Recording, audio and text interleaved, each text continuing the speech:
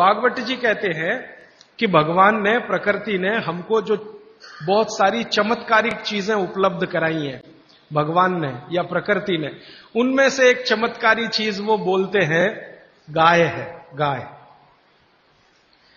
बागवट्टी जी कहते हैं कि भगवान ने और प्रकृति ने जितनी चमत्कारी चीज़ें हमें उपलब्ध कराई हैं, उसमें से एक है गाय। और गोमूत्र के बारे में वो बहुत बखान करते हैं। बखान शब्द आप समझते हैं। खूब प्रशंसा करना, खूब प्रशंसा करना। वो कहते हैं कि ये गाय का मूत्र अद्भुत है, अद्भुत अद्भुत है मतलब वो ये कहते हैं कि वात पूरी तरह से खत्म करने की शक्ति इसमें है। कफ पूरी तरह से खत्म करने की शक्ति इसमें है। और पित्त पित्त के रोगों को भी खत्म करने की शक्ति है कुछ आयुर्वेदिक औषधियों के साथ। वात और कफ को तो ये अकेला ही खत्म कर देता है। पित्त को खत्म करने के लिए इसमें कुछ औषधियाँ मिलानी पड़ती हैं। लेकिन वो कहते हैं कि जीवन में तीन तरह के जो जितने रोग हैं, वात, पित्त, कफ, इनकी कुल संख्या मैंने आपको सबसे पहले दिन बोली थी 148 रोग हैं लगभग भारत में। दुनिया की बात नहीं कर रहा हूँ, सिर्फ़ भारत तो भारत में वात, पित्त, कफ के कुल 148 रोग हैं। बागवती जी कहते हैं, हर रोग को खत्म करने की शक्ति अकेली अगर किसी एक वस्तु में है तो ये गोमूत्र है। मेथी का दाना वात को कम करेगा, कफ को कम करेगा, पित्त को खत्म नहीं कर सकता, पित्त को कई बार बढ़ा देता। कई लोगों को यह महसूस होगा, मेथी दाना खाएँ तो जलन ज़्यादा होती है, गैस बनती है, मुँह सूख जाता है तो आप समझ लो पित्त भड़क गया आपका। तो उन लोगों के लिए तकलीफ़ है। लेकिन वो कहते हैं कि यह गोमूत्र एक ऐसी चीज़ है जो वात, पित्त, कफ तीनों को सम में लाने के लिए सबसे ज़्यादा मदद करता है। अब ये तो उन्होंने लिख दिया साढ़े तीन हज़ार साल पहले तो ज़रूर कुछ ऑब्जर्वेशन किए होंगे। हमको इस पर भरोसा कम होता था। जब ये बात मैंने पहली बार पढ़ी तो भरोसा कम होता था। कि क्या अद्भुत चीज़ बता रहे हैं वो। वात पित्त कफ तीनों को एक साथ सम में ला सकता है। थोड़ा सा मामूली हेर फेर करना पड़ेगा पित्त के रोगियों के लिए, बाकी के लिए तो कुछ नहीं करना। तो फिर हम लोगों को जब शक हुआ कि शायद ये इतना असरकारी नहीं हो सकता तो गोमूत्र पर हम लोगों ने कुछ परीक्षण किए। हमारा एक बहुत बड़ा समूह है इस देश में तो उसमें बहुत तरह के लोग हैं, वैज्ञानिक भी हैं, डॉक्टर भी हैं, वगैरह वगैरह। तो कुछ वैज्ञानिक और डॉक्टरों ने मिलकर कहा, करके देख लो। बागवती जी कह रहे हैं तो हो सकता है ज़रूर इसमें कुछ गंभीर बात हो। करके देखो। तो जब करके देखना शुरू किया तो पिछले लगभग पाँच छह वर्षों में गोमूत्र पर हज़ारों परीक्षण किए, हज़ारों। सबसे पहले तो उसका हमने केमिकल एनालिसिस कराया कि आखिर गोमूत्र है क्या। तो सबसे ज़्यादा उसमें पानी है। पानी के अलावा क्या है? तो पता चला पानी के अलावा उसमें कैल्शियम है। तो पता चला पानी के अलावा उसमें सल्फ़र है। पानी के अलावा उसमें आयरन है।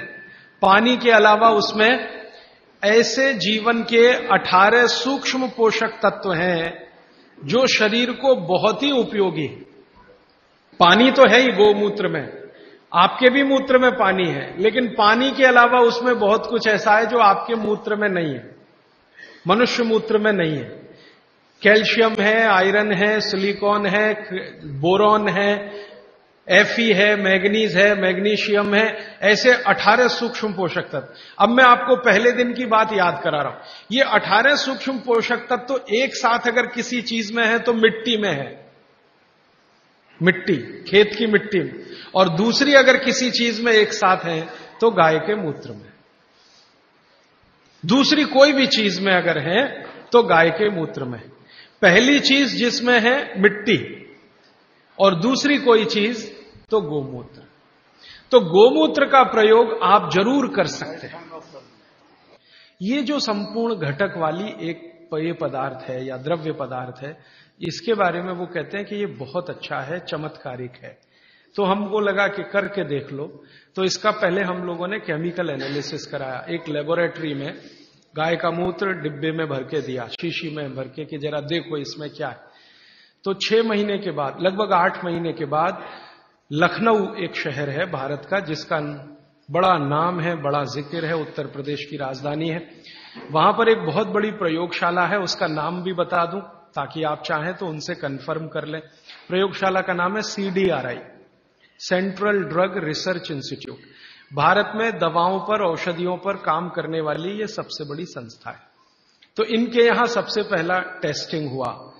शीशी में भरा गोमूत्र हमने दिया और तीन चार तरह के गोमूत्र दिए। एक तो वो जर्सी गाय होती है ना, जर्सी गाय, विदेशी गाय, उसका भी दिया। होलिस्टियन, फ्रीजियन जाति की गाय का दिया और जो भारत की गाय है, देशी गाय अपनी, उसका दिया। तो वैज्ञानिकों ने छह से आठ महीना लगाया। फिर रिपोर्ट आई, रिपोर्ट के बाद पता चला कि शरीर की बीमारियों को खत्म करने के लिए जितने घटक चाहिए, वो सब गोमूत्र में है। सबके सब। सबके सब अब जैसे, मैं आपको नाम लेके कहूँ। आपको त्वचा का कोई भी रोग हो गया, कोई भी रोग हो गया त्वचा का तो इसका माने आपके शरीर में एक घटक कम हुआ। घटकों की कमी से ही रोग होते हैं। वो घटक का नाम है सल्फ़र। एक केमिकल कम होता है, जिसका नाम है सल्फ़र। जिनको भी स्किन डिसीज होंगी, उनके शरीर में सल्फ़र कम हो जाएगा। यह है बात। अब गाय के मूत्र में भरपूर मात्रा में है सल्फ़र। भरपूर। तो हम लोगों ने क्या किया कि ये त्वचा रोग वालों को इकट्ठा करके सल्फ़र चाहिए। तो सल्फ़र हम चाहें तो होम्योपैथी में दे सकते थे उनको। सल्फ़र चाहे तो आयुर्वेद में भी दिया जा सकता था। हमने ना होम्योपैथी में दिया, ना आयुर्वेद में दिया। उनको कहा, भाई, गोमूत्र में सल्फ़र है और आपको सल्फ़र की ज़रूरत है तो आप पी के देख लो। तो उनमें से कुछ ने पिया, कुछ ने नहीं पिया। कुछ को लगा कि कैसे पिए इसमें वगैरह वगैरह बहुत सारी तकलीफें हैं। वो एक आदमी तो मुझे कहता था राजीव भाई, इतनी बास आती है, कैसे पी सकता हूँ? और वो रोज एक बोतल दारू पी लेता था। गोमूत्र पीने में उसको बास आती थी।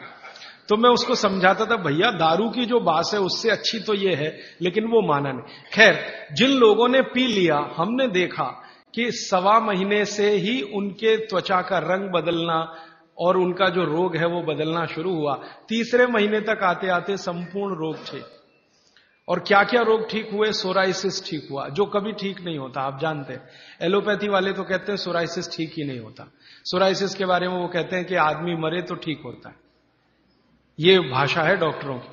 तो वो सोराइसिस ठीक हुआ। एक्जिमा तो इतने आसानी से ठीक हुआ कि बहुत ही आसान। खुजली, खाज, दाद, सब तरह के त्वचा रोग ठीक हुए। तो बात समझ में आई कि बागवट्टी जी सही कहते हैं। फिर हमने इसका एक्सपेरिमेंट घुटने दुखने वालों पे किया। घुटने दुखते हैं, कमर दुखती है, कंधा दुखता है। और देखा कि रिज़ल्ट बिल्कुल सही है। पंद्रह से बीस दिन में ही असर है। फिर हमने इसका प्रयोग कफ वालों पे किया। खांसी है, सर्दी है, जुकाम है 20-20 साल की खांसी है 25-25 साल की खांसी है। अब आप जानते हैं 20-25 साल की खांसी तो दमाई हो जाती है, या तो टीवी में बदल जाती है। तो उसमें देखा तो इतना तीव्र असर है इसका कि अगर आप ट्यूबरकुलोसिस के किसी भी पेशेंट को सरकार का इलाज कराएँ, आप खुद कर लें ये एक्सपेरिमेंट। मैं तो बीसियों बार कर चुका। सरकार का इलाज, आप जानते हैं गोलियाँ, डॉट्स की गोलियाँ। टीबी के मरीजों को देते हैं और कहते हैं, हम फ्री में बांट रहे हैं। तो एक आदमी को आप बोलो कि डॉट्स खाए और इलाज कराए। और दूसरा ऐसा ही आदमी पैरेलल ले लो जिसको टीबी है, अस्थमा है, दमा है। उसको को नहीं, तुम सिर्फ़ गोमूत्र पियो और कुछ मत करो। फ्रेश। गोमूत्र माने फ्रेश, जो ताज़ा। तो आप देखेंगे कि वो डॉट्स की गोली खाने वाले को चार महीने से छह महीने लगेंगे। और ये गोमूत्र पीने वाले को सवा महीने से दो महीना ही लगेगा। और ठीक होगा। और ये एक बार ठीक हुआ, गोमूत्र पी के, इसको दोबारा टीबी नहीं आएगी। क्योंकि गोमूत्र बीमारी ही ठीक नहीं करता, प्रतिरोधक शक्ति इतनी बढ़ा देता है कि वो बीमारी भविष्य में दोबारा ना आए। तो समझ में आया कि बाघ भट्ट जी तो कुछ गलत नहीं बोल गए, सही। फिर हमने और एक एक्सपेरिमेंट किए, कि जिनको डॉट्स दी जा रही है, ऐसे कुछ मरीज़ एम्स में हमने चिन्हित किए। ज़्यादा एक्सपेरिमेंट हमने एम्स के डॉक्टरों की मदद से किए। तो ऑल इंडिया इंस्टीट्यूट के कुछ मरीज़ जिनको डॉट्स दी जा रही है, नियमित रूप से टीवी के लिए वो आते हैं, उनको शीशी में भर भर के ये दे दिया। और ये नहीं कहा कि ये गोमूत्र, क्योंकि कहो तो खाए नहीं और पिए नहीं। उनको कहा, ये बहुत अच्छा सीरप है, आप इसको पीते रहो।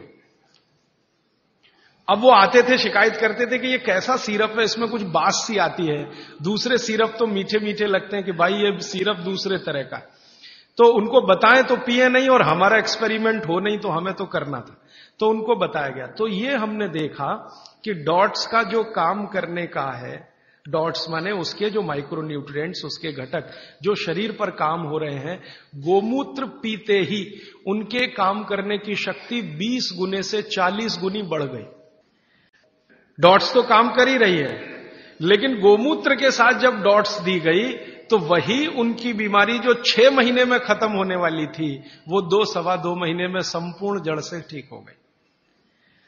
फिर जब वो ठीक हो गए, तब उनको हमने बताया कि भैया, वो शीशी में भर के जो दिया था, वो गोमूत्र था। तो तुरंत नाक चढ़ गई उनकी। ठीक हो गए। कहते हैं, जी, आपने तो बहुत अच्छा कर दिया। हमको हमारी संभावना नहीं थी कि हम ज़िंदा भी बचेंगे। लेकिन नाक तब भी चढ़ गई। तो ये जो नाक चढ़ती है हमारी ये अब कम कर दीजिए इसको चढ़ाना। गाय का मूत्र अद्भुत है, बहुत ही अद्भुत है। इसके हम एक्सपेरिमेंट करते करते 48 रोगों तक पहुँचे हैं आज। 48 डिसीज हैं 48 रोग हैं, वात के, कफ के, पित्त के, तीनों के, जड़ से खत्म होते हैं। अभी जो लेटेस्ट हम काम कर रहे हैं, आज की तारीख में जब मैं आपसे कह रहा हूँ, इस समय ज़्यादा काम हो रहा है कैंसर पे। कि गोमूत्र का कैंसर पे असर देखो क्या होता है। तो गले का कैंसर, आहार नली का कैंसर और पेट का, इन तीन कैंसरों पर सबसे अच्छे परिणाम है गोमूत्र के। तीनों कैंसर पे। बाकी जो रक्त का कैंसर है, उसमें परिणाम अभी उतने अच्छे नहीं है। तो बागवट जी के जो परमुटेशन और कॉम्बिनेशन है मतलब कि गोमूत्र में ये मिलाओ और ये मिलाओ और इतनी मात्रा में मिलाओ और इतनी, वो करके देख रहे हैं। और वो करके देखने के लिए एक बड़ा हॉस्पिटल बन रहा है इस देश में। आप कभी भी वहाँ जा सकते हैं। 11 फरवरी से काम करना शुरू कर देगा। वलसाड में बन रहा, वलसाड। वलसाड आपने सुना है, गुजरात में। तो वलसाड के कुछ जैन समाज के लोग इकट्ठे हुए, उन्होंने दिल दिखाया और दान दे दिया, जितना चाहिए था। माने हॉस्पिटल बनाने के लिए आप जानते हैं, आसान नहीं है। और कैंसर हॉस्पिटल के लिए तो थोड़ा मुश्किल है। तो उन्होंने भरपूर दान दे दिया, जगह भी दे दी तो हॉस्पिटल बन के तैयार हो गया। 11 फरवरी से काम शुरू हो जाएगा। जो वैज्ञानिक गोमूत्र पर काम कर रहे थे पिछले छह सात साल से, वो सब इकट्ठे होकर वलसाड में बैठेंगे और सिर्फ़ कैंसर पे काम करेंगे, क्योंकि बाकी काम तो करके देख चुके हैं, वो सब में अच्छा है। हर बीमारी में काम आ रहा है, कैंसर में करेंगे और हर तरह के कैंसर में करेंगे।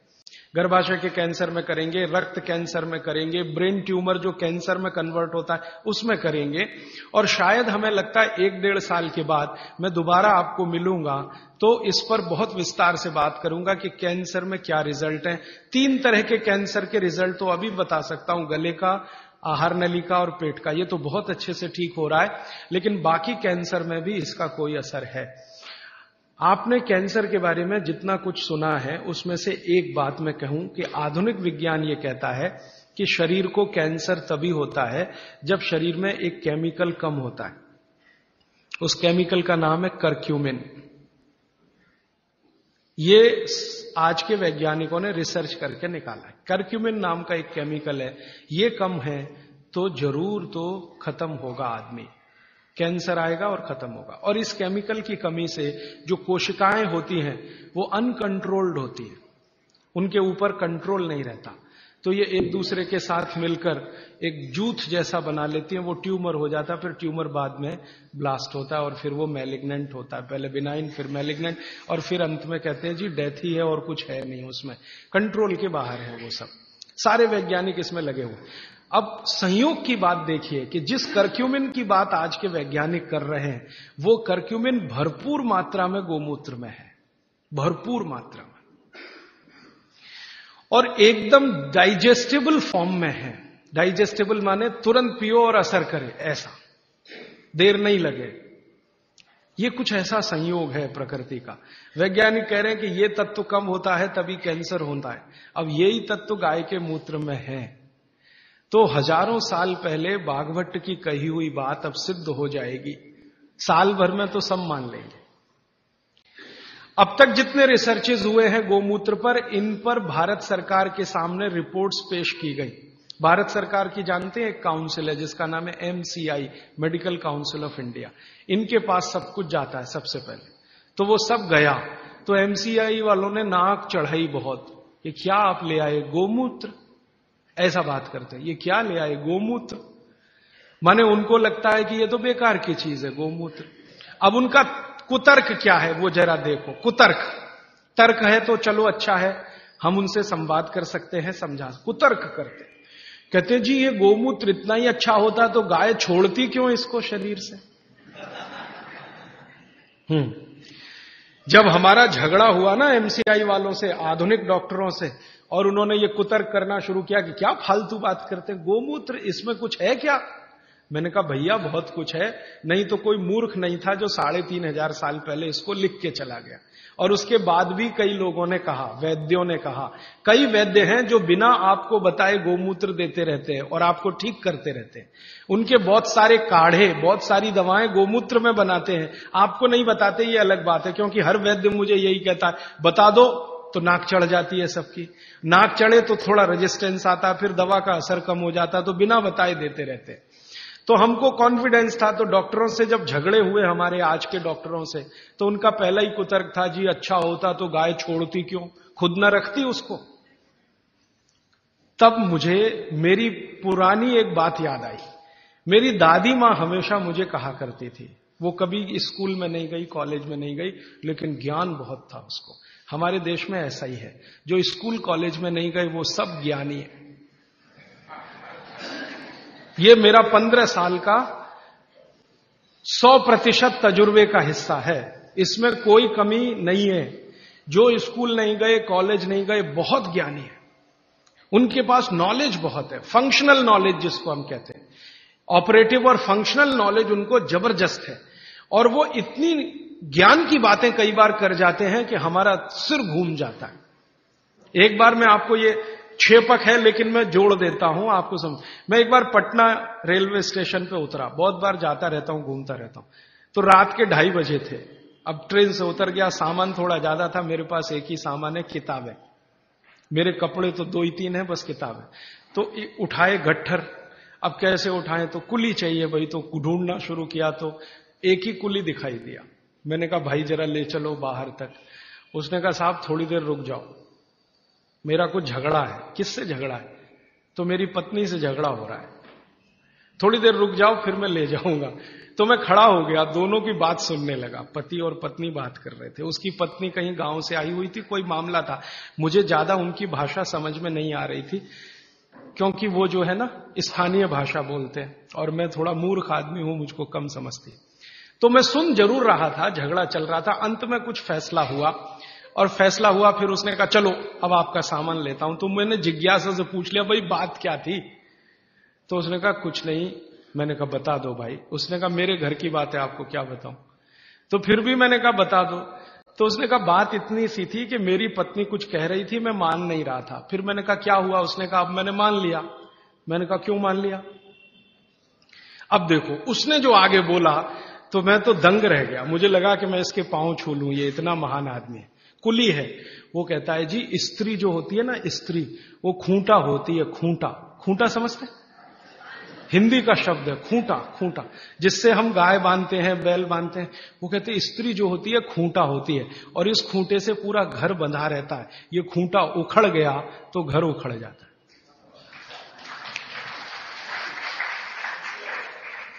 अब मैंने कहा कि भाई, इसने कहीं यूनिवर्सिटी में गया नहीं, कोई डिग्री इसके पास है नहीं। इतने ज्ञान की बात इसने कैसे कही? तो मैं पूछा, तुम कहाँ रहते हो? तो उसने बताया, वहाँ रहता हूँ, कंकड़ बाग कोई जगह बताई थी, वहाँ रहता हूँ, झोपड़ी में रहता हूँ। फिर मैंने कहा, ठीक है, झोपड़ी में रहते हो, वो अलग बात है, तुम्हारे मित्र यार कौन है? तो उसने कहा, मेरे ही जैसे हैं, कोई कुली है, कोई पत्थर तोड़ता है, कोई कुछ करता है। हम सब रात को बैठते हैं और यही चर्चाएँ करते हैं।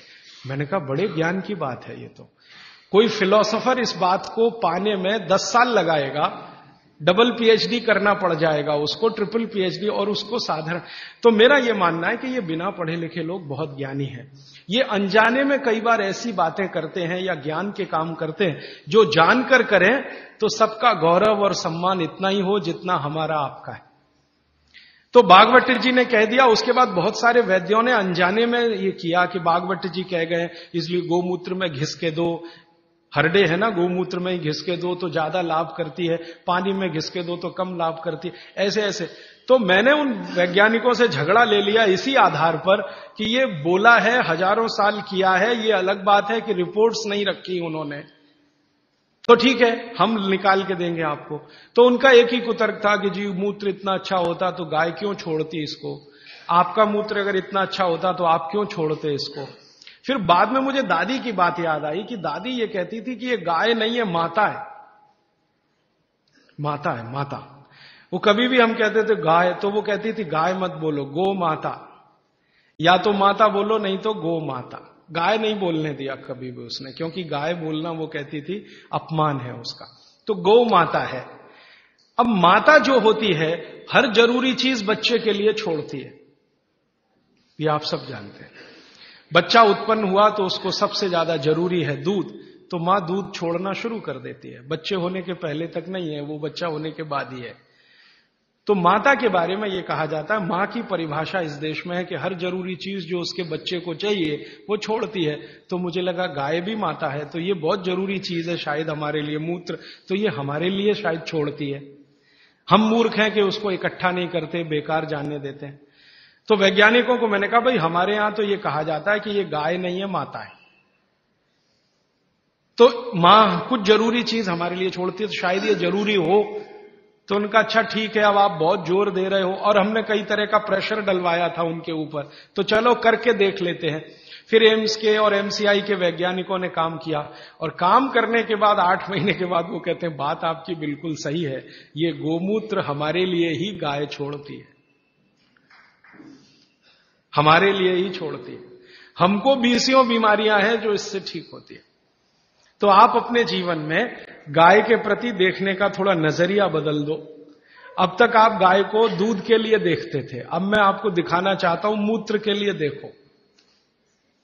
दूध तो बोनस है। मूत्र उसकी ज़िंदगी के आखिरी दिन तक मिलने वाली औषधि है। दूध तो थोड़े ही दिन मिलेगा। आप जानती हैं, गाय थोड़े दिन दूध देती है, जैसे माँ थोड़े दिन दूध दे सकती है, वैसे गाय भी थोड़े ही दिन दे सकती है, हमेशा नहीं दे सकती। थोड़े दिन के बाद दूध बंद हो जाता है। लेकिन मूत्र जीवन के आखिरी दिन तक देती है। और उस मूत्र से हमने करके देख लिया, वैज्ञानिकों ने मान लिया कि 48 बीमारियाँ तो जड़ से ठीक हो जाती हैं। ये बीमारियाँ क्या क्या हैं? फिर से सुना देता हूँ। जोड़ों के दर्द सब तरह के। किसी भी स्तर के जोड़ों के दर्द। पित्त की बीमारियाँ किसी भी तरह की, कफ की बीमारियाँ किसी भी तरह की, गोमूत्र से ठीक होती है। आप बोलेंगे, इसको लेना कैसे चाहिए? बागवट जी ने इसका तरीका यह बताया है कि गोमूत्र लेना हो तो उसका सबसे अच्छा समय है सवेरे का। सवेरे का समय बताया है। अच्छा है। सवेरे गोमूत्र लेना चाहिए। कितना लेना चाहिए? तो ये मात्रा बागवट जी बोल कर गए कि जो बहुत ज़्यादा बीमार हैं, बहुत बीमार हैं, उनको एक दिन में सौ ग्राम सौ ग्राम नहीं कहा है, लेकिन जो मात्रा दी है वो ग्राम के बराबर है, और सौ ग्राम बोल रहा हूँ ताकि समझ में आए। नहीं तो उनकी मात्रा बोल दी तो समझ में नहीं आएगी। लेकिन वो लगभग सौ ग्राम। तो जो बहुत बीमार हैं, उनको सौ ग्राम, सौ मिलीलीटर। सौ मिलीलीटर माने एक कप जो चाय का है ना, उसमें डेढ़ सौ चाय आती है, एक सौ पचास मिलीलीटर। तो उसका पाव कप मान लो। ये बीमार, बहुत बीमार बहुत बीमार लोगों के लिए। और वो कहते हैं कि इसको आधा आधा करके लो तो और अच्छा है। तो आधा एक बार ले लिया, आधा दूसरी बार ले लिया। और जिस समय लें, पेट खाली रहे तो नाश्ते के पहले। अब पेट खाली दो समय रहता है दिन में। एक तो सुबह सुबह और दूसरा जब भोजन के बाद आप चार घंटे निकल जाए ना तो पेट लगभग खाली हो जाता है। तो शाम को ले सकते हैं, बीमार लोगों। और जो बीमार कम है या स्वस्थ हैं, निरोगी हैं और लेना चाहते हैं, उनको एक ही बार। तो 50 मिलीलीटर की मात्रा उन्होंने बताई उसके लिए। स्वस्थ, कम बीमार 50 मिलीलीटर। 50 मिलीलीटर माने एक कप का तिहाई हिस्सा वन थर्ड तो ये आप ले सकते हैं। अब जिस गाय का मूत्र आप ले रहे हैं, उसके बारे में एक छोटी जानकारी उन्होंने जोड़ी उसमें। वो ये कहते हैं, सूत्र में कि गाय जो मूत्र पीने लायक, माने औषधि के रूप में देती है, वो गाय को पैदल चलना बहुत आवश्यक है। माने वो चले दिन में, घूमे, टहले, बांधी हुई गाय जिसको आप चलने ही मत दो, घर में ही बंधी रहे, उसके मूत्र के बारे में बागवटी जी कहते हैं कि वो उपयोगी नहीं है। उपयोगी नहीं। अब हमने क्या देखा कि ये जो जर्सी गाय है ना, जर्सी, होलिस्टियन, फ्रीजियन ये बंधी हुई गाय है। आप इसको छोड़ भी दो तो जाती नहीं है, बद्ध से बैठ जाती है। खड़ा करो, फिर बैठ जाएगी। फिर खड़ा करो, फिर खड़ी भी नहीं होती। ज़्यादा देर बैठी रहेगी। चलना तो उसके लिए इतना भारी है कि जब वो चलेगी तो ऐसी कराह निकलती है उसके मुँह से। तो ये बंधी हुई गाय है। बागवती जी कहते हैं, बंधी हुई गाय का मूत्र अच्छा नहीं है। तो हमने जर्सी का निकाल के देखा, वो सच में अच्छा नहीं। जर्सी गाय के मूत्र में तीन ही घटक है। और देशी गाय के मूत्र में अट्ठारह घटक है। जो कुछ मिट्टी में है, वो गाय के मूत्र में है। अच्छा फिर मुझे बचपन की एक बात याद आई। मेरी दादी माँ ने कहा कि गाय के शरीर में तैतीस करोड़ देवता है। अब बात सुन ली, बैठ गई मन में। एक्सप्लेनेशन में पूछता था अपने आप से कि ये कैसे हो सकता? तैतीस करोड़ देवता, तैतीस करोड़ देवता। तो हमारे यहाँ एक शब्द है कोटि कोटि कोटि है ना कोटि। कोटि का एक अर्थ होता है करोड़ और कोटि का एक अर्थ होता है प्रकार। संस्कृत शब्द है कोटि। कोटि का एक अर्थ है करोड़। दस करोड़, बीस करोड़, पचास करोड़, जो गिनती में आप गिन। कोटि का दूसरा अर्थ है प्रकार। तो शायद यहाँ पर जो अर्थ है वो प्रकार वाला है। तैतीस प्रकार के देवता। तैतीस करोड़ नहीं क्योंकि जिस समय बागवती जी ने लिखा था, उस समय हिंदुस्तान की आबादी 20 करोड़ से कम रही होगी। तो 33 करोड़ देवता कैसे हो सकते हैं? जब कुल मनुष्यों की संख्या इतनी कम है तो शायद वो प्रकार वाला है। और आजकल बहुत लोग खिल्ली उड़ाते हैं ना, हिंदू धर्म की, ये ईसाई लोग और मुसलमान लोग जो खिल्ली उड़ाते हैं ना, वो इसी पे आ जाते हैं। क्या बात करते हो? तैतीस करोड़ देवता है तुम्हारे यहाँ। हमारे यहाँ तो एक ही देवता है और देवता तो एक ही होता है। तो वो शायद तैतीस प्रकार के देवता हैं, ऐसा है। अब मैंने एक बार पुराने शास्त्रों से गाय का एक चित्र निकला हुआ देखा तो देवताओं का बना हुआ था कि गाय के शरीर में कौन कहाँ है। जैसे गाय के मूत्र में धनवंतरी देवता है, गाय के गोबर में लक्ष्मी जी का निवास है। एक संस्कृत सूत्र है, गोमय वसत लक्ष्मी। गाय के गोबर में लक्ष्मी है, गोमूत्र में धनवंतरी है। गाय के गले में शंकर जी हैं ऐसे ऐसे करके है।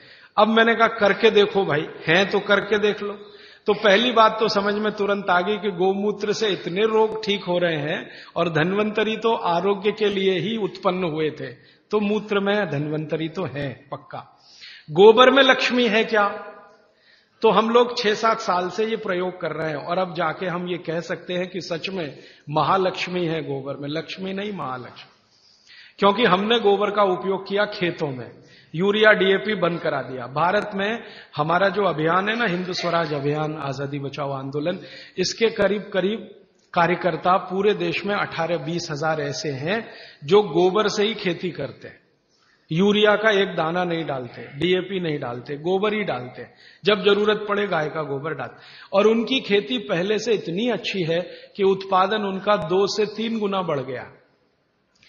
पहले हमारा कोई कार्यकर्ता कपास करता था तो यूरिया डीएपी से एक एकड़ में दो ढाई क्विंटल। अब गोबर डाल के करता है तो सात क्विंटल कपास। पहले हमारा एक कार्यकर्ता गेहूँ करता था तो यूरिया गेहूँ। अब गोबर से गेहूँ करता है तो 24 से 25 क्विंटल गेहूँ, उसी एक एकड़। धान करते थे, चावल करते थे तो यूरिया डीएपी से आता था, मुश्किल से 15-17 क्विंटल धान, चावल उसमें भी कम होता था। अब हम धान करते हैं तो 30 क्विंटल तक आता है, उसी गोबर से। बाजरे में किया, मक्के में किया, गन्ने में तो इतना अद्भुत परिणाम है कि यूरिया डीएपी का गन्ना करो तो गन्ना ज़्यादा से ज़्यादा आठ फीट ऊँचा होता है। गोबर से गन्ना करो तो चौदह फीट तक ऊंचाई जाती है। गन्ने में यूरिया डीएपी से रिकवरी आठ परसेंट है, गोबर से रिकवरी चौदह पंद्रह परसेंट है। और जो गोबर से गन्ना करें और उसका गुड़ बनाए, रस से गुड़ बनाए तो वो गुड़ का अंतर्राष्ट्रीय बाज़ार में भाव सत्तर रुपए किलो है। और आप पंद्रह रुपए किलो खरीदने में परेशान है। क्योंकि इंटरनेशनल मार्केट में लोग कहते हैं कि जी, गोबर का गन्ना और उसका रस और गुड़ मिलता नहीं किसी देश में। भारत में ही संभव है, क्योंकि देशी गाय ही भारत में है, और किसी के पास देशी गाय है नहीं। तो गोबर में लक्ष्मी है, क्योंकि आप उत्पादन बढ़ाएँगे, बाज़ार में बेचेंगे, लक्ष्मी आएगी। तो गोमय वसती लक्ष्मी। गोमूत्रे धनवंतरी। सूत्र कुछ ऐसा है कि मूत्र में धनवंतरी गोबर में लक्ष्मी। अब ये गोबर पर एक्सपेरिमेंट करते करते हम यहाँ तक आए हैं कि गाय के गोबर में से गैस निकलती है। ये गैस से आप अपने घर का चूल्हा तो जला ही सकते हैं, ये तो पुरानी बात है। अभी आज की बात जो है वो ये कि गाय के गोबर से निकली हुई गैस से गाड़ी चला सकते गाड़ी माने टाटा सूमो, टाटा इंडिका, टाटा सियरा, टाटा की वो सफारी ये सब चलती है, बहुत आराम से चलती है। गोबर गैस है ना, उसको सिलेंडर में भरो और वो सिलेंडर गाड़ी में लगा दो तो बिना इंजन बदले और कोई तकलीफ़ किए वो ही गाड़ी दौड़ती है। दिल्ली में आईआईटी है, कभी भी आप वहाँ चले जाइए, आईआईटी कैंपस की सब गाड़ियाँ गोबर गैस से ही चलती है। और इस आधार पर सुप्रीम कोर्ट में एक केस का अभी फैसला हुआ है। हमारे देश का अदालत अब तक ये कहती थी कि गाय दूध न दे तो बेकार है, काट दो। अब सुप्रीम कोर्ट ने अपना फैसला बदल दिया। वो कहते हैं, ये दूध नहीं दे तो भी उतनी ही उपयोगी है, क्योंकि गोबर दे रही है और मूत्र दे रही है। कोर्ट ने अपना जजमेंट बदला। ये भारत के इतिहास में पहली बार हुआ। सुप्रीम कोर्ट ने अपना पुराना जजमेंट बदला। ये एक्सपेरिमेंट होने के बाद। अब थोड़े दिन में हमारी तो एक योजना है। आप अगर मदद करेंगे तो हम ज़रूर करेंगे इस योजना को। गाँव गाँव जहाँ भी गाय है, वहाँ गोबर है। गोबर है तो हम क्या करने वाले हैं? गोबर गैस प्लांट छोटे छोटे हर जगह। गैस निकालो और सिलेंडर में भरो। कंप्रेशर की मदद से आप जानते हैं कोई भी गैस सिलेंडर में भरी जा सकती है। तो कंप्रेशर की मदद से गैस सिलेंडर में भरो और सिलेंडर खुद भी इस्तेमाल करो, दूसरों को भी दो। ये एलपीजी का चक्कर खत्म करो। क्योंकि ये एलपीजी आयातित है, माने इंपोर्टेड है। दूसरे देश के सामने हम भिखारी बन के खड़े हैं, जी दे दो ईरान से मांग रहे हैं, इराक से मांग रहे हैं। ईरान आँखें दिखा रहा है, नहीं देते। हाँ देंगे तो इस कीमत पे देंगे। गरज है तो ले लो, नहीं तो मत लो। तो हमारी सरकार भीगी बिल्ली बनी हुई उनके सामने रेरियाती है घिघियाती है। ये चक्कर अभी खत्म करना। हमको तो डीजल, पेट्रोल ही खत्म करना है इस देश में। ज़रूरत ही नहीं डीजल, पेट्रोल। जब तक गाय जीवित है, उसका गोबर है, गोबर से गैस है, गैस से सब चलेगा। आपकी बिजली भी बना लो गाड़ियाँ भी चला लो, रसोई गैस भी जला लो, घर के सब काम गोबर गैस से हो सकते हैं। और गोबर गैस की बनाई हुई रोटी का स्वाद, आपके एलपीजी की रोटी के स्वाद से कई गुना अच्छा है। करके देख लीजिए आप। तो हमारी भविष्य की योजना है कि हम इस अभियान में आगे ये करने जा रहे हैं। गाँव गाँव के कार्यकर्ताओं को प्रशिक्षण देके कैसे गोबर गैस बनाई जाए, कैसे प्लांट लगाया जाए, कैसे उसको निकाला जाए गैस को, कैसे सिलेंडर में भरा जाए। जिस दिन ये काम बड़े पैमाने पर चल पड़ा, हिंदुस्तान को डीजल, पेट्रोल एक बूंद खर्च करने की ज़रूरत नहीं, गाय से ही देश चलेगा तो समझ में आएगा कि इसमें महालक्ष्मी है गाय के गोबर। लक्ष्मी नहीं, महालक्ष्मी। भारत में सत्रह करोड़ गाय है, इसकी डबल चाहिए। चौंतीस करोड़ में यह हो जाएगा। हमने जो हिसाब निकाला है, एक गाय का गोबर एक दिन में दस किलो। अभी एक सत्रह करोड़ गाय है तो एक दिन का उनका गोबर है 170 करोड़ किलो। लेकिन सारे देश के डीजल की खर्चा और पेट्रोल का खर्चा और एलपीजी का खर्चा, ये पूरा अगर हम कवर करना चाहें तो गाय चाहिए चौंतीस करोड़। हम आधे का तो कर सकते हैं, आज जितनी गाय है, चौंतीस करोड़। अब ये चौंतीस करोड़ गाय कहाँ से आएगी? ये तभी आएगी जब कटना बंद हो। आप अगर इसका संरक्षण करें, गाय का कटना इसका बंद करा दें तो गाय की संख्या अपने आप चौंतीस करोड़ हो जाएगी। क्योंकि भारत की जो गाय है, देशी गाय, वो 20 साल जीवित रहती है। और 20 साल में कम से कम 17 बार माँ बन सकती है वो। भारत की गाय और ये जो जर्सी है ना, इसकी उम्र ही नहीं है। ये ज़्यादा से ज़्यादा आठ से नौ साल जीवित रहती है।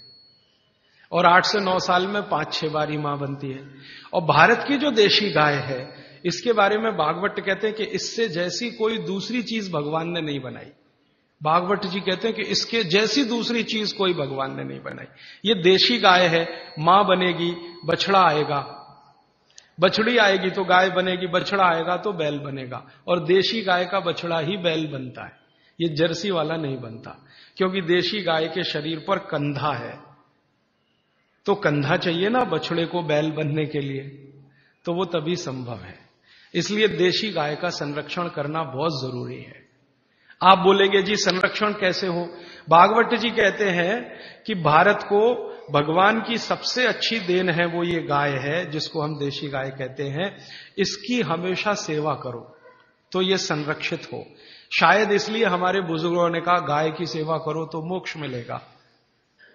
तैतीस प्रकार के देवता खुश रहेंगे। और मैंने करके देखा ये, देशी गाय आप घर में रखो, उसकी सेवा करो। सवेरे सवेरे सो के उठो। बस गाय को देखो, कुछ मत करो। बैठ जाओ, देखो उसको सामने। और आपके शरीर में इतनी खुशी और आनंद पैदा होगा, उसका चेहरा देखने मात्र से। करके देख लो इसको। मैं अभी एक एक्सपेरिमेंट कर रहा हूँ। डिप्रेशन के कुछ मरीजों को मैंने इकट्ठा किया है। एक गौशाला में। एक गौशाला में डिप्रेशन के मरीजों को इकट्ठा किया। है कोई दवा नहीं देते। वो कहते हैं, जी, गाय के सामने बैठो, बस, और देखो। उसको देखो, उसकी आँखें देखो। आँखों में जितनी सुंदरता है देशी गाय की कहीं नहीं मिलेगी आप। और जो आप गाय पहचान सकते हैं, भारत में एक गाय है किल्लारी गाय कहते हैं उसको, किल्लारी गाय। एकदम गुलाबी आँखें, सुर्ख गुलाबी आँखें। उसकी आँखें देख लिया आपने तो डिप्रेशन और अवसाद आपका खत्म हो जाए। इतना आनंद मिलता है गाय को देखने से। तो गाय देखने मात्र से अगर आनंद की प्राप्ति हो रही है तो ये उसकी सबसे बड़ी विशेषता है। मूत्र से तो बीमारियाँ ठीक हो ही रही हैं, गोबर से तो बहुत कुछ हो ही रहा है अपने देश में, उसकी आँखें देखने मात्र से खुशी पैदा होती है। और उसी गाय के साथ एक भैंस को देख लो। बराबर में एक गाय खड़ी कर लो, एक भैंस खड़ी, भैंस का चेहरा देख लो आप। तो ना हो तो डिप्रेशन हो जाएगा। हाँ। भैंस का चेहरा देखते ही मन में जो पैदा होता है ना, वो वॉमिटिंग सेंसेशन जैसा।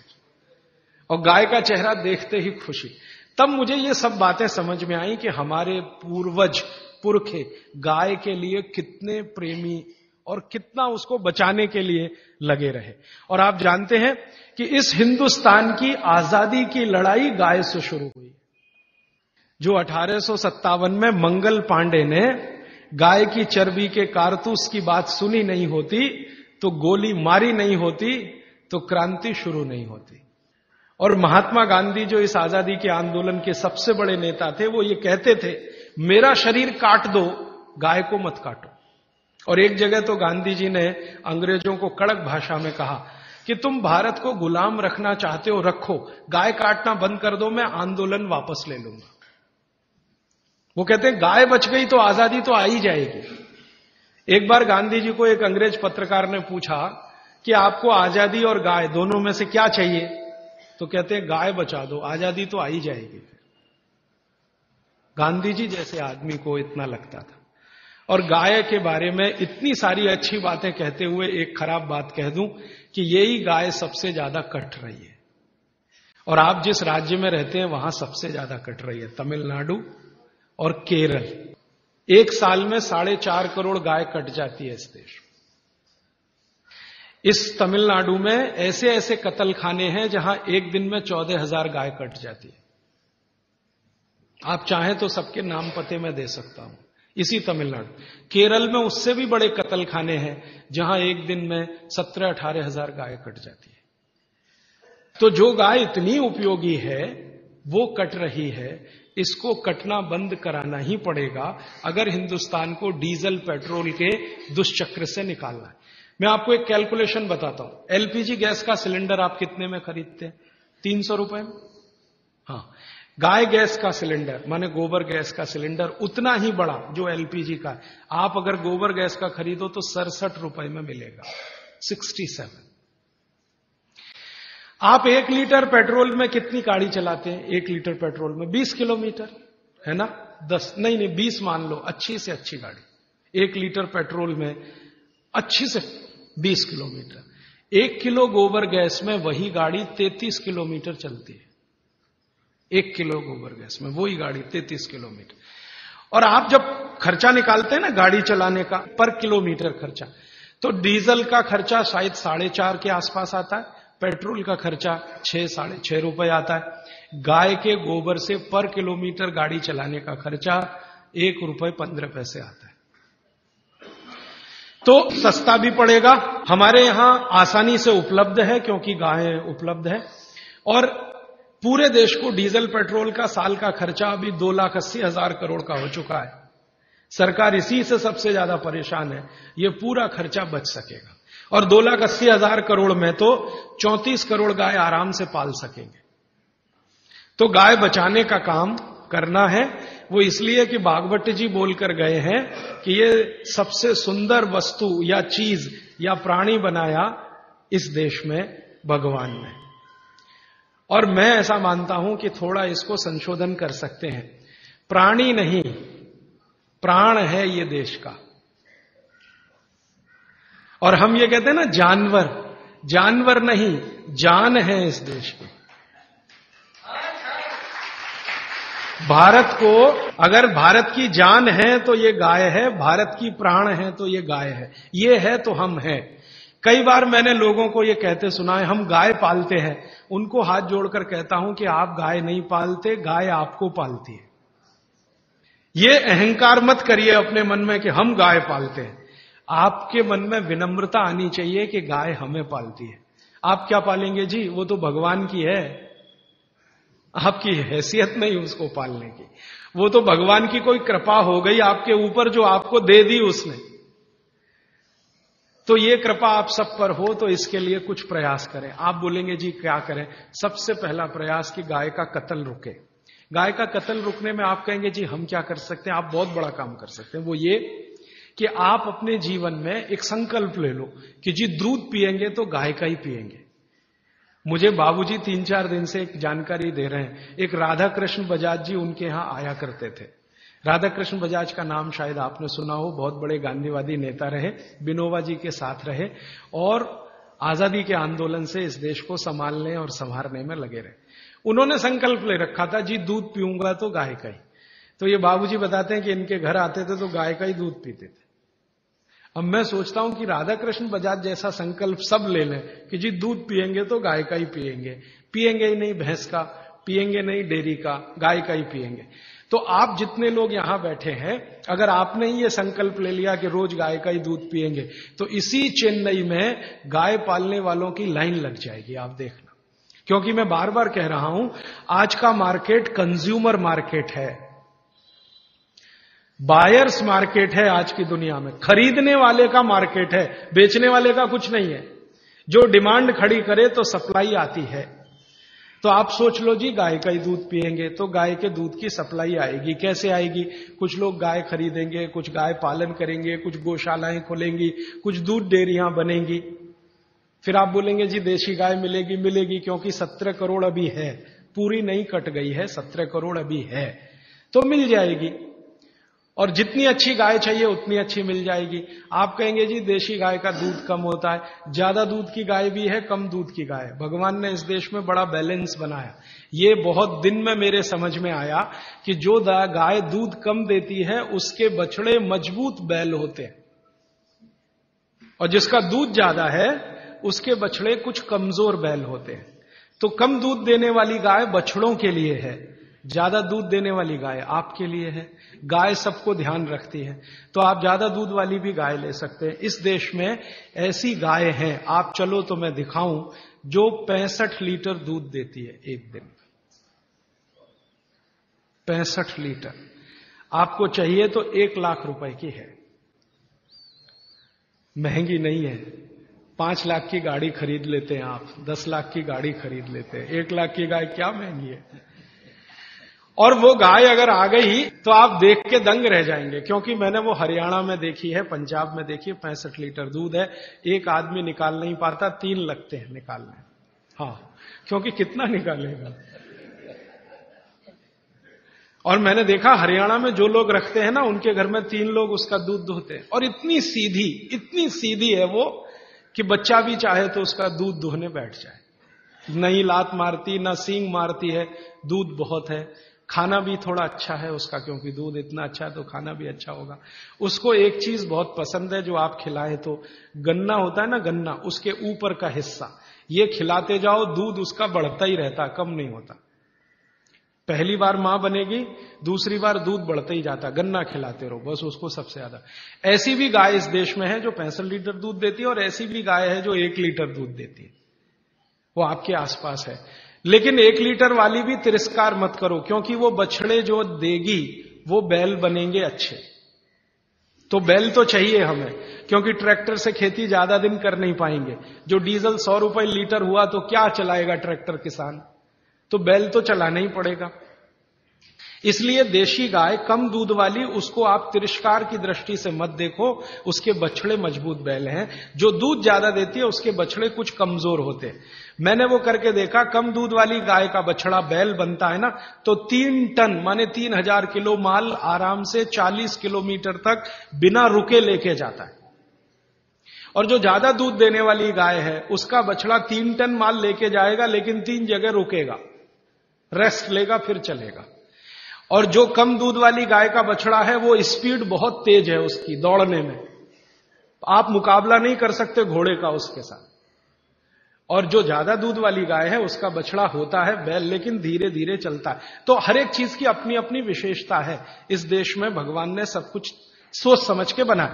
तो आप दूध पीना शुरू करो गाय का तो गाय की डिमांड बढ़े तो फिर यहाँ गौशाला खोले। या पहले से चल रही गौशाला सुधार। हो फिर आप बोलेंगे, जी, रखेंगे कहा?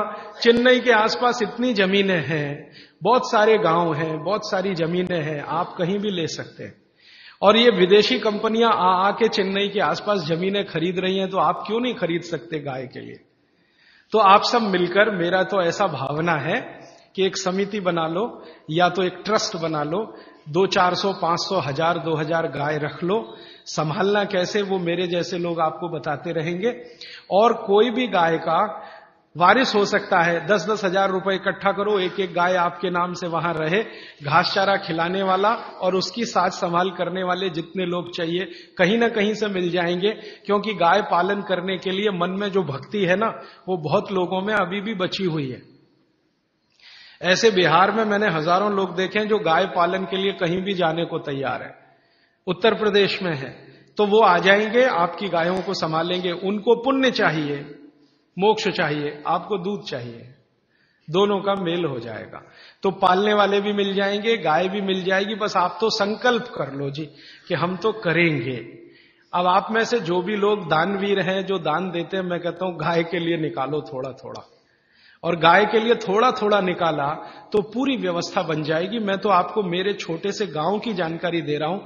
मैं बहुत छोटे गाँव में रहता हूँ, सेवाग्राम, उसका नाम है गांधी जी का बसाया हूँ। तो गांधी जी का असर अभी तक उस गाँव पर है। गांधी जी गाय को बहुत प्रेम करते थे तो उस गाँव के जितने भी किसान है वो गाय ही पालते हैं। मैं जिस छोटे से गाँव में रहता हूँ, उस गाँव के आसपास के चालीस गाँव में छप्पन हज़ार गाय है। आसपास के चालीस गाँव में छप्पन हज़ार गाय। हर दिन एक सवा लाख लीटर दूध आता है। और जिसको चाहिए वो चला जाता है। फिर थोड़ा बच जाता है तो उस दूध से बिस्किट बनाते हैं। गाय के दूध का बिस्किट। हमारे यहाँ का खा लें तो आप सारे बिस्किट भूल जाएँगे। फिर वो बच जाता है तो फिर दही बना लेते हैं। दही का मट्ठा, मट्ठे से मक्खन बना लेते हैं। मक्खन से घी भी मिल जाता है। तो घी भी मिलता है वहाँ पे गाय के दूध का। मक्खन भी मिलता है। मावा मिलता है, मावा माने खोवा, फिर उससे पेड़ा बना लेते हैं, वगैरह वगैरह, सब हो रहा है। और जो किसान ये गाय पाल रहे हैं, उनके पास ज़मीन नहीं है ज़्यादा, आप ध्यान दो इस बात किसी के पास एक एकड़, दो एकड़, लेकिन सब लखपति है। गाय की ताकत से। ज़मीन ज़्यादा नहीं है। जितनी है वो गाय के घास चारे के लिए ही पूर्ति है। लेकिन दूध और दूध की दूसरी चीज़ें जो वो दे रहे हैं, कुछ किसानों को तो ये बात इतनी समझ में आई है कि अब उन्होंने दूध देना बंद किया। वो कहते हैं, जी, दूध नहीं देंगे, आपको घी चाहिए तो ले लो। घी दे देंगे आपको, शुद्ध गाय का। दूध नहीं देंगे। मैंने एक दिन पूछा, भैया, क्यों? तो उसने कहा, ये जो दूध हम दे देते हैं तो हमारे पास कुछ नहीं बचता। जो घी देंगे तो मट्ठा तो बचेगा कम से कम। देखो, कितनी इंटेलिजेंसी वो आदमी यूनिवर्सिटी में नहीं गया। एग्रो इकोनॉमिक्स उसने कभी नहीं पढ़ा। वो कह रहा है कि जो दूध दे दिया तो मेरे पास तो कुछ बचता नहीं है। मैं मट्ठा तो बचा सकता हूँ, अगर घी दूँगा आपको। मट्ठा मैं पीऊँगा, मेरे बच्चे पिएँगे बचेगा तो गाय पिएगी, घी आप ले जाओ। तब मुझे समझ में आया कि हमारे देश में कहते थे ना, दूध बेचा नहीं जाता। ऐसा कहते हैं ना पुराने लोग। दूध बेचना पूत बेचने जैसा है। बच्चे को नहीं बेच सकते तो दूध भी नहीं बेच सकते तो वो शायद कहावत इसलिए बनी होगी कि आप अगर दूध बेचते रहोगे तो कुछ बचेगा नहीं। तो दूध बेचो मत। दूध की बनाओ दही दही का बनाओ मट्ठा, मट्ठे से निकालो मक्खन, घी बेचो। तो घी बेचो तो भाव भी अच्छा है। एक सौ अस्सी रुपए किलो तो हमारे यहाँ मिलता है, लेकिन वही घी बंबई जाता है तो पाँच सौ रुपए किलो बिक जाता है। बेंगलोर चला जाए तो छह सौ रुपए किलो भाव है, जर्मनी चले जाए तो चार हज़ार रुपए किलो तक भाव मिल जाता है वो ही घी का। 180 से लेके 4000 रुपए किलो तक का रेट है, गाय के देशी घी का, जर्मनी वहाँ, अमेरिका वगैरह वगैरह, उनको भी चाहिए, मिलता नहीं, क्योंकि उनके पास देशी गाय नहीं, जर्सी। तो मेरा मानना है, गाय का आप थोड़ा पालन, उसका संरक्षण, संवर्धन शुरू कर दो, गौशाला बनाने का काम अगर यहाँ हो जाए तो आपकी गौशाला को पैसे की तो ज़रूरत पड़ेगी नहीं, दान के रूप में मैं आपको विनम्रता से कहता हूँ, एक गाय जो दूध देती हो, साल की कमाई उसकी दो लाख रुपए की है, और खाने का खर्चा उसका बीस हज़ार रुपए का है। तो बीस हज़ार का खाना खाएगी, दो लाख की इनकम है। दूध के रूप में, दही के रूप में, घी के रूप में, मक्खन के रूप में, मूत्र के रूप में और गोबर के रूप में। टोटल इनकम दो लाख की। और जो बूढ़ी हो गई, दूध देना बंद करे तो भी साल की इनकम सवा लाख की है। तो भी। खर्चा वो ही बीस हज़ार का है। तो इनपुट कम है आउटपुट ज़्यादा है। इसलिए गाय का बिज़नेस भी आप करें, दूध का। गाय से मतलब दूध का, दही का, मक्खन का, घी का, गोबर का। आप शुरू कर दो। मैं आज बोल रहा हूँ, तीन साल बाद सरकार बोलेगी इसी बात को, कि गोबर गैस प्लांट लगाओ जगह जगह सिलेंडर में गैस भरो और गाड़ियाँ चलाओ, डीजल हम ला नहीं सकते, पेट्रोल ला नहीं सकते, डेढ़ सौ रुपए लीटर है। तो इसलिए ये गोमूत्र से शुरू हुई आपके बीच की बात वहाँ तक पहुँचती है। और आप दूध पियोगे तो गाय बढ़ेगी, मूत्र का उपयोग करो दवा के लिए तो भी गाय बढ़ेगी, गोबर का उपयोग करो खेत में तो भी गाय बढ़ेगी। ये तीन तरीके से गायों को आप बचा सकते हैं और इनकी संख्या लगातार बढ़ा सकते हैं। यहाँ पर अपने निरंजन भाई हैं, ये और इनकी पत्नी गाय के सेवा में लगे हुए हैं। आपको कभी गोमूत्र की ज़रूरत हो तो इनसे ले लेना। अब मैं पाँच मिनट में खत्म करता हूँ कि गोमूत्र से और क्या क्या कर सकते हैं। हाँ और क्या क्या बागवती जी कहते हैं, आँख के कोई भी रोग, आँख के, सभी रोग कफ के रोग हैं जो आँख में हैं। जैसे मोतियाबिंद हुआ ये कफ का रोग है। कैटरेक्ट जिसको आप अंग्रेज़ी में कहते हैं। ग्लूकोमा ग्लूकोमा एक रोग है ना, काला पानी, काला रेटिनल डिटैचमेंट एक रोग है, जिसका तो दुनिया में कुछ भी इलाज ही नहीं है, रेटिनल डिटैचमेंट का। ऑपरेशन भी नहीं है उसका। हो भी तो सक्सेस नहीं। आप अमेरिका चले जाओ और किसी डॉक्टर को कहो, रेटिनल डिटैचमेंट का तो कहेगा, ऑपरेशन कर सकता हूँ। गारंटी नहीं है, विजन आएगा कि नहीं? तो रेटिनल डिटैचमेंट, ग्लूकोमा, कैटरेक्ट। और आँखों में छोटी मोटी बीमारियाँ बहुत हैं, आँखें लाल होना, आँखों से पानी निकलना, आँखों में जलन होना। तो छोटी छोटी से लेकर सबसे खराब बीमारी रेटिनल डिटैचमेंट। ये सब गोमूत्र से ठीक होती है। क्योर होती है, शब्द पे ध्यान देना। कंट्रोल नहीं, क्योर होती है। जड़ से खत्म होती है। आप बोलेंगे, जी, क्या करें? बस इतना ही करना है कि देशी गाय का मूत्र कपड़े से छानकर एक एक बूंद आँख में डालें। आप में से किसी को चश्मा उतारना है अगर अपना तो ज़रूर डालें। तीन महीने में आप लगातार डाल के देख लीजिए, नंबर बदल जाएगा और सवा डेढ़ महीने में चश्मा उतर जाएगा ग्लूकोमा बिना ऑपरेशन ठीक होता है चार सवा चार महीने में। कैटरेक्ट अगर आपको डिसॉल्व करना है, छह सवा छह महीने में ठीक हो जाता है। रेटिनल डिटैचमेंट को एक साल लगता है, लेकिन लगातार गोमूत्र डालते रहिए एक एक बूंद। बस इतना पर्याप्त है आँखों में। बच्चों के कान बह रहे हैं, कान। आप जानते हैं छोटे छोटे बच्चों के कान में मवाद निकलता है। बस दो या तीन दिन एक एक बूंद कान में गोमूत्र की डाल दीजिए, पूरा कान साफ़ हो जाएगा, मवाद निकलना बंद। बच्चों की नाक बहुत बहती है। बार बार सर्दी होती है बार बार जुकाम होता है। बागवट्टी जी कहते हैं कि नाक बह रही हो, सर्दी बहुत हो, जुकाम बहुत हो। तो गोमूत्र तो नहीं कहा उन्होंने, गोघ्रत कहा। गोघ्रत माने गाय का घी। एक एक बूंद नाक में डाल दो बच्चों के। सर्दी, जुकाम ऐसे गायब होगा, जैसे गधे के सिर से सींग। गाय का घी। अच्छा आपको नींद नहीं आती? अच्छी नींद लेनी है, बढ़िया नींद लेनी है, डीप स्लीप लेनी है, रात को एक एक बूंद गाय का घी नाक में डाल के सो जाओ, बहुत गहरी नींद आएगी। आपको खर्राटे बंद करने हैं, बहुत लोगों को खर्राटे आते हैं रात को सोते समय। सोने वाला तो नहीं जानता, पड़ोसी जानता है कि क्या तकलीफ़ होती है। तो जिनको भी खर्राटे बहुत आते हैं, उनके लिए बहुत अच्छी दवा मैं बता के जा रहा हूँ। गाय का घी एक एक बूंद नाक में डाल लो, तीन दिन बाद चौथे दिन से खर्राटे बिल्कुल बंद हो जाए स्मूथ एकदम आपकी नींद हो जाए तो गाय के घी का भी उपयोग है, औषधि के रूप में गोमूत्र का। अब आता हूँ, बाल झड़ते हैं बहुत। बहुत सारी बहनें शिकायत करती हैं, बाल झड़ रहे तो गाय के दूध का दही बनाओ, दही। दही को तांबे के बर्तन में रख दो। पाँच छह दिन रखा रहने दो। फिर हरा हरा हो जाएगा। फिर उस दही को बालों में लगाओ। एक घंटे के बाद बाल धो दो शीकाकाई से। शैम्पू से नहीं, शीकाकाई से। हफ़्ते में चार बार कर सकते हैं। और बाल टूटना एक ही हफ़्ते में बंद हो जाते एक ही हफ़्ते। कई बहनों ने तो मुझे बताया, राजीव भाई, हमने तो एक ही बार किया था, उतने में भी बंद हो गए।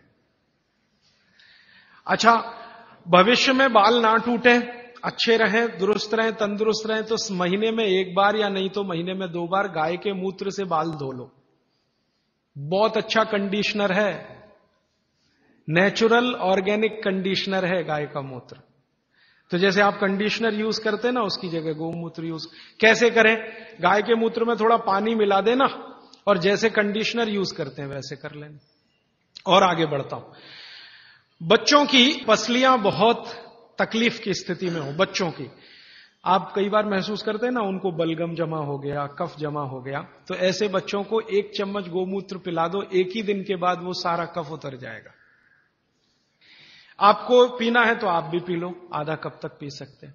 फिर उसके बाद मूत्र पिंड के जितने भी रोग हैं मूत्र पिंड के रोग आप सब समझते हैं, किडनी के फेलियर के और किडनी के तकलीफ़ के, ये सब में बहुत अच्छी दवा है, गोमूत्र, उपयोग करो।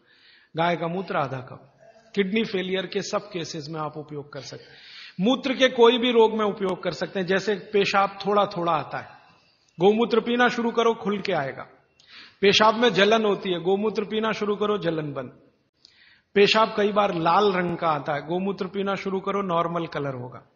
मूत्र के लगभग 22 तेईस रोग इस अकेले गोमूत्र से ठीक होते फिर आपको कब्जियत बहुत है, कब्जियत, पेट साफ़ नहीं हो रहा है। तीन दिन गोमूत्र पी लो, आधा आधा कप, चौथे दिन से एकदम पेट साफ़ होगा। एकदम पेट साफ़। फिर आपके शरीर में बीसियों रोग हैं, वात के, कफ के, पित्त के, आप उसमें उपयोग कर सकते हैं। पित्त के रोगों के बारे में बागवट जी की एक बात याद रखना कि गोमूत्र पित्त के रोगी जब भी लें तो वो घी का उपयोग ज़्यादा करें। पित्त के रोगी, पित्त के रोगी आप समझते हैं, गैस बन रही है एसिडिटी ये लोग अगर गोमूत्र पिए, पित्त ठीक करने के लिए तो घी ज़्यादा खाएँ। बस, इतना ही निवेदन है उनका। बाकी वात और कफ वाले तो कुछ भी करें। तो बाल में उपयोगी शरीर में गोमूत्र की मालिश करो आप। तो आपकी त्वचा पर जितने भी सफ़ेद सफ़ेद धब्बे हैं ना, सब चले जाए। आँखों के नीचे डार्क सर्किल है। रोज सुबह ऐसे ऐसे गोमूत्र लगा लिया करो, डार्क सर्किल चले जाएँगे आप। खाज हो गई, खुजली हो गई, एक्जिमा हो गया, थोड़ा मालिश कर लो, सब खत्म हो जाए तो ये गाय का मूत्र अद्भुत है। अब इस गोमूत्र को ज़्यादा आज के समय में लोगों ने उपयोग करने के लिए एक टेक्निक डेवलप की है कि प्योर गोमूत्र मिले तो वैसे सबसे अच्छा होता है। लेकिन क्या करते हैं, आजकल के गोमूत्र को उबालते हैं तो उसकी वाष्प बनती है। वाष्प को ठंडा करके अर्क बनता है। अर्क अर्क तो आप समझते हैं। तो गोमूत्र अर्क भी इस्तेमाल हो रहा है। लेकिन मेरा कहना है कि प्योर मिले तो सबसे अच्छा। नहीं मिले तो अर्क ले सकते नहीं मिले तो। लेकिन अर्क ज़्यादा नहीं लेना। अर्क सूक्ष्म मात्रा में ही लेने के लिए बागभट्ट ने नियम दिया है। वो ये कहते हैं कि अर्क अगर लेना है तो एक चम्मच पर्याप्त है। मूत्र पीना है तो आधा कप पर्याप्त है, अर्क लेना है तो एक चम्मच पर्याप्त है। तो अर्क भी ले सकते हैं। अब बहुत लोग अर्क बना रहे हैं गोमूत्र का। आपको जो अच्छा लगे ले सकते हैं। ये निरंजन भाई भी बना रहे हैं, इनसे भी ले सकते हैं। ये यहीं पर इनकी गौशाला चला आप भी गौशाला बनाएँ तो उसमें भी अर्क बन सकता है।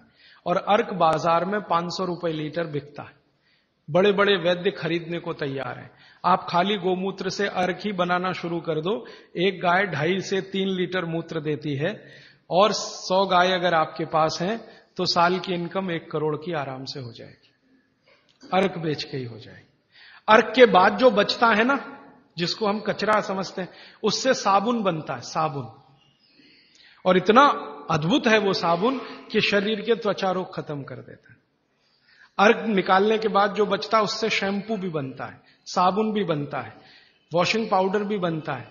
आपका फर्श साफ़ करने के लिए वो जो आप फिनाइल वगैरह इस्तेमाल करते हैं ना, ये गोमूत्र अर्क का भी बनता है, फिनाइल। गाय के गोबर से टाइल्स बनना शुरू हो गए इस देश में। टाइल्स समझते हैं?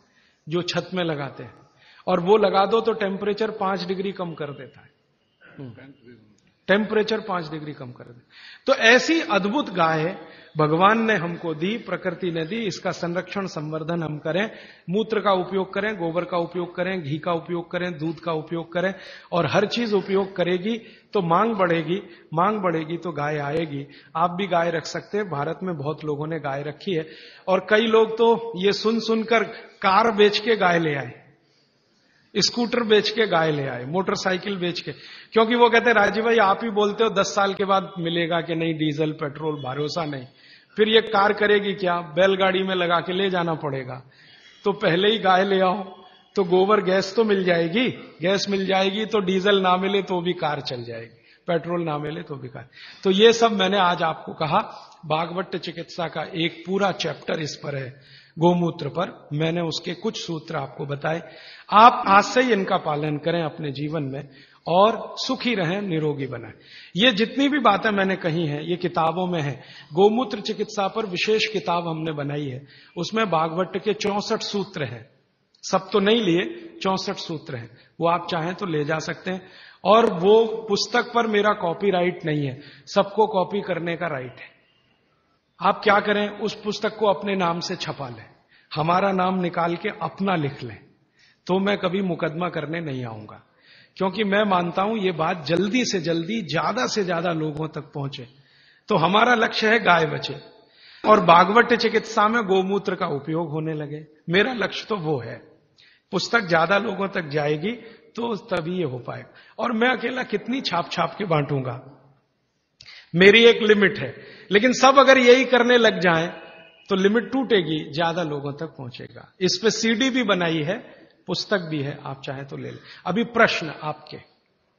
आज समय थोड़ा ज़्यादा ले लिया मैंने माफ़ करिएगा। जी प्रश्न। एक सवाल यह है कि आपने कहा कि गोमूत्र में सबसे ज़्यादा कर्क्यूमिन है लेकिन हल्दी में भी कर्क्यूमिन है। हाँ वो कल बात करने हाँ, वाला।